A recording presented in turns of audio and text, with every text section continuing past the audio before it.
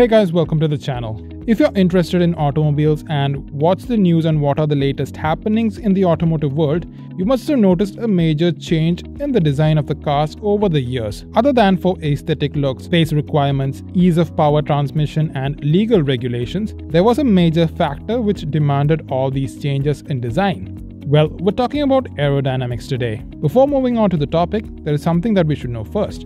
A moving vehicle should overcome three major types of resistances. The resistances to the motion of the vehicle are air resistance, gradient resistance, and the rolling resistance. Gradient resistance occurs due to the weight of the vehicle. It acts parallel to the surface of the road in which the vehicle travels, and it is constant for all the speeds. The next one is the rolling resistance that occurs between the wheels and the road. It depends on the vehicle speed and the road and tire characteristics. Then, the most important of all the three is the air resistance. This is the resistance offered by the air to the vehicle motion and it depends on several factors like shape, size, and speed of the vehicle. But why do we have to learn all these? The design of the vehicle should be in such a way that it should help the vehicle overcome these resistances. A good aerodynamic design helps the vehicle in achieving the top speed, ensures better fuel economy, and provides better comfort to people.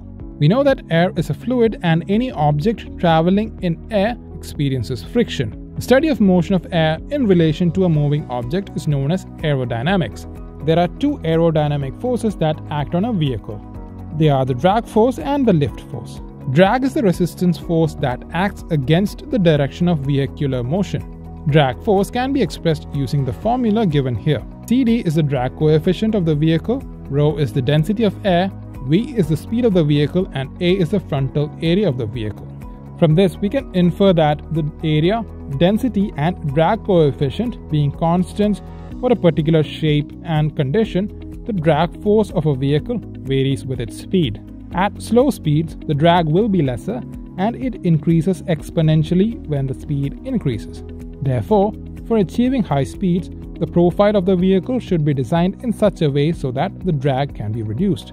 This can be done by avoiding sharp edges, unwanted protrusions, and having the body well polished and more smooth. Now, let's see how these reduce drag by an example. You might have definitely played using paper rockets, but do you know why the tip of the rocket is always pointed? Well, the pointed tip has minimal contact area encountering air that tears the surface of air and it can easily travel in it. The same happens in cars as well. Air can easily move over sleek cars because of the curvy design, but it offers more resistance to boxy cars.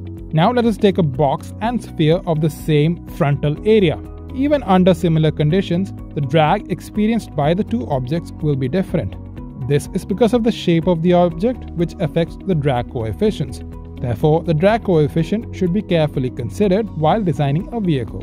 Now, let's discuss about lift force. Lift force is a vertical force component created due to the pressure difference between the top and bottom surfaces of the vehicle.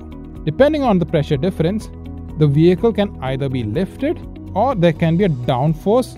The upward lift force will tend to lift the vehicle and downward lift force, also known as downforce, will help to increase the traction between the road and wheels. Downforce plays a vital role especially in race cars as they require traction especially during cornering and steering. Let's see how a race car acquires the necessary downforce. You might have noticed these objects on race cars. They are called wings. According to Bernoulli's law, fluid that moves slowly will have greater pressure than a fast moving fluid. The wings are designed with higher surface area at the top when compared to its bottom. As the air flows over it, higher pressure will be developed at the top surface, whereas at the bottom there will be lesser pressure. This creates the necessary downforce. In addition to wings, splitters can also be used to improve downforce. So that's it for today guys. We'll meet up in the next video. Until then, bye.